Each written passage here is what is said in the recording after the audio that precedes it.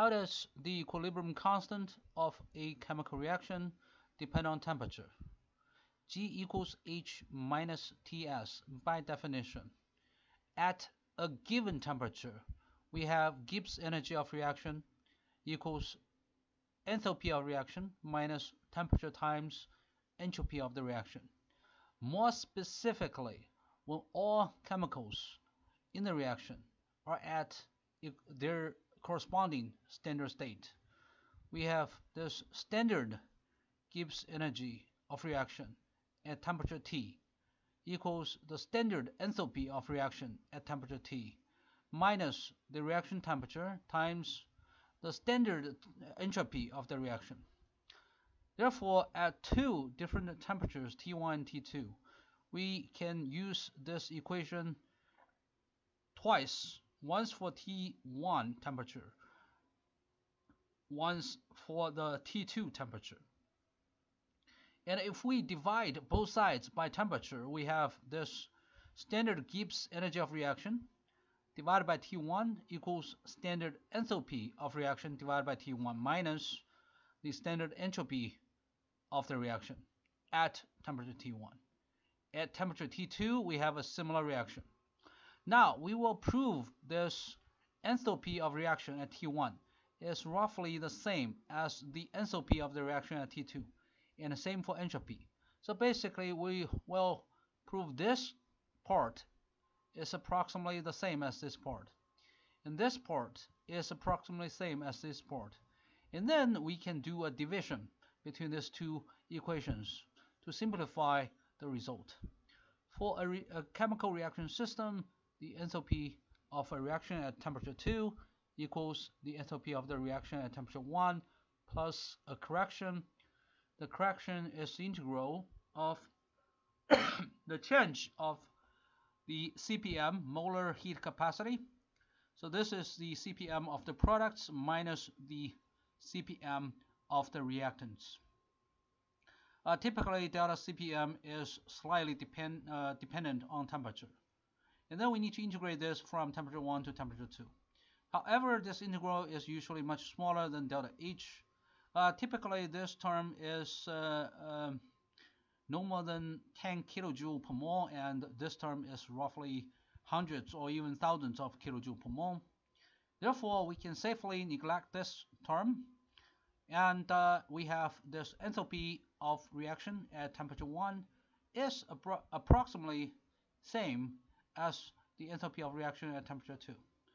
Uh, essentially, the enthalpy of reaction is independent of temperature as long as the temperature change is not too significant. Similarly, we have the entropy of the reaction at temperature 2 approximately equal to the entropy of the reaction at temperature 1. Therefore, we get back to these two equations. These two are about the same. These two are about the same. So we take the difference.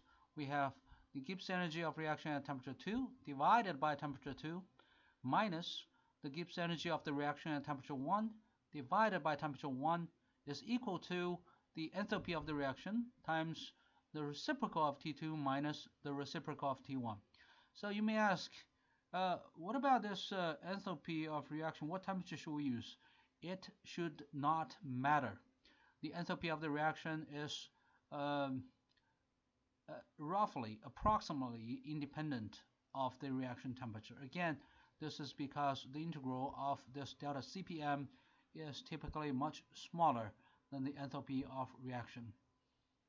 All right, once we have this, and we have the equation that connects the Gibbs energy of reaction and equilibrium constant, uh, delta G of reaction, when all chemicals are in the standard state is equal to negative RT times the natural logarithm of KEQ.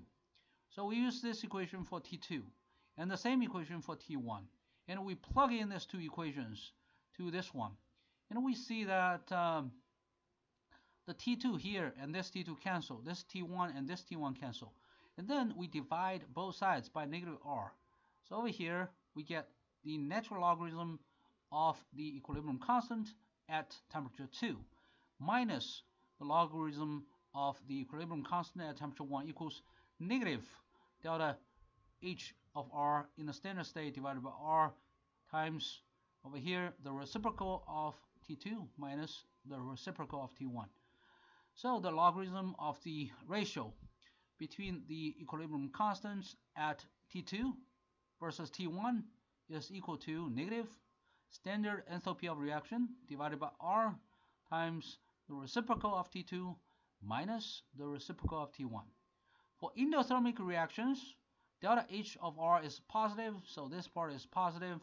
When T2 is greater than T1, uh, this part is negative. There's another negative sign. Therefore, overall, this logarithm is positive.